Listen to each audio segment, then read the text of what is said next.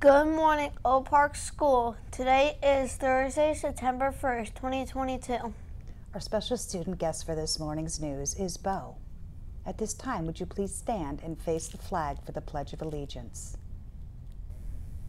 I pledge of allegiance to the flag of the United States of America and to the, the republic for which it stands, one nation under God, indivisible, with liberty and justice for all. Would you please remain standing for our Panther Pledge? Today I will be respectful, on task, accepting, and responsible. I'm an Oak Park Panther. Hear me? You may be seated. Thank you for helping out this morning. We will now pause for a moment of silence, which may be used for your own thoughts, prayers, or quiet reflection.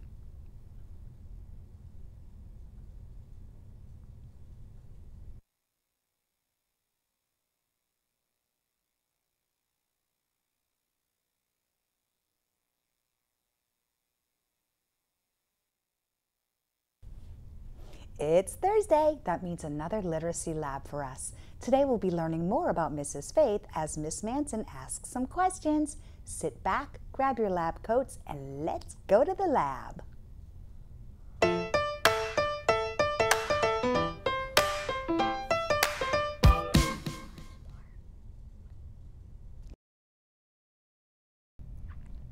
Good morning, friends, and welcome to the Literacy Lab. I'm Patty Manson. And I'm Faith Walkup Lees. And, and we, we, are, your reading, reading interventionists. interventionists.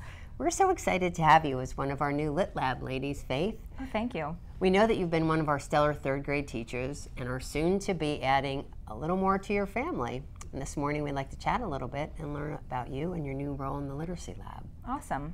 Let's get the ball rolling with the question everyone is curious about. Boy or girl? And do you have a name yet? It's a boy, and we are open to name suggestions.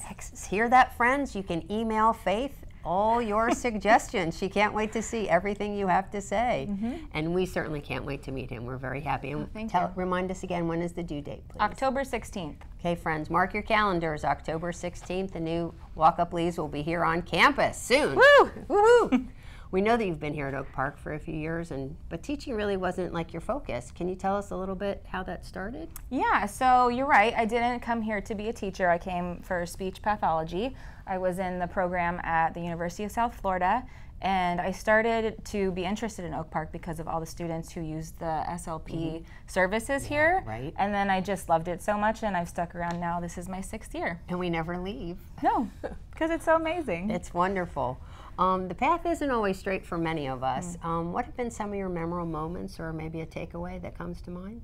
Ooh, one of my favorite moments so far being here was just this last year, my last and final year of teaching in third grade, was that at the end of the year, all of my third graders could read. Right? It was amazing, wasn't it? Was. It was so a lot special. of fun. Yes. it was. What a great, memorable moment. Yes. I'm waxing poetic. Well, it sounds like a wonderful, wonderful experience, and we're happy to have you here. I'm looking forward to the upcoming year and all of our wonderful adventures. Thank you. Okay. Well, friends, thanks for listening, and we'll see you around the park. Bye, friends. Bye. Today is Throwback Thursday, where we will highlight a famous event that happened on this day in history.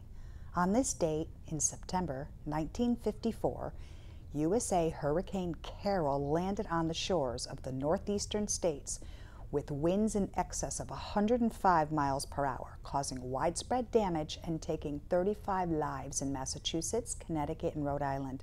The area had not seen a storm of this ferocity since 1938. We hope you have a great day, Panthers, and always like, continue to roar!